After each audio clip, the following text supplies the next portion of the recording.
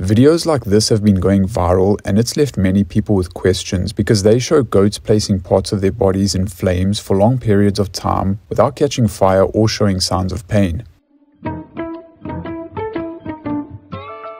This is apparently something the animals do in order to kill parasites, but some of the goats have definitely overdone it and it's not very well documented.